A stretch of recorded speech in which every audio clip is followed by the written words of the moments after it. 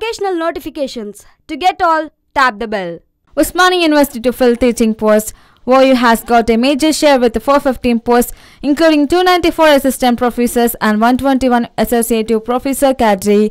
Osmania University is finally gearing up for recruitment to 415 teaching posts in various departments. To this effect, the university has convened the Executive Council meeting on April 28 to clear the recruitment notification.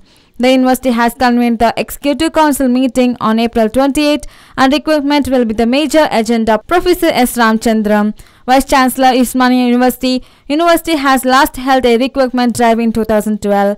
Very close to 170 teaching posts were filled. This time, the state government has accorded permission for recruiting 1,061 teaching posts in 11 state universities, including Osmania University, Kakatiya University, Mahatma Gandhi University, Palamuru University, Satavahana University, Telangana University, Rajiv Gandhi University of Knowledge Technologies, Dr. B.R. Ambedkar Open University, Potti Sreeramulu Telugu University, Jawaharlal Nehru Architecture and Fine Arts University and Jawaharlal Nehru Technological University, Hyderabad. University Grants Commissioner had issued a circular to all university registrants asking to implement the reservation policy taking a department as a unit rather than the as a unit. The circular had stalled the insolence of requirement notifications by universities in the state.